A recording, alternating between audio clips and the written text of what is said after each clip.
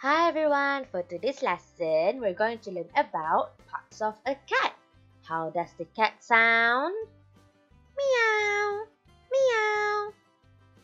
Okay, let's look into this one. What is this? This is the cat's ear. How many ears does the cat have? One, two. Two ears. E A R S. Ears. Very good. Next, what is this? Good, this is the cat's eyes. One, two. E Y E S. Two eyes.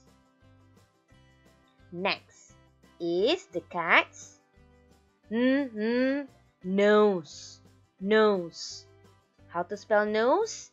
N O S E. Nose.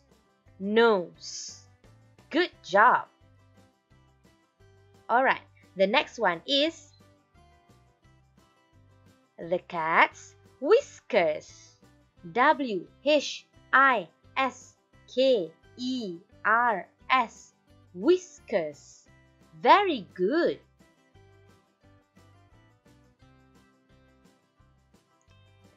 Next is mm, mm, mouth, mouth. M O U T H mouth. This one is the cat's fur. What color is the fur? White color. Very good. What a cute cat. F U R fur. F U R fur. Very good. Next is the cat's paw. Paper, A-W-O, paw. This one is the cat's paw. Paper, A-W-O, paw. Very good.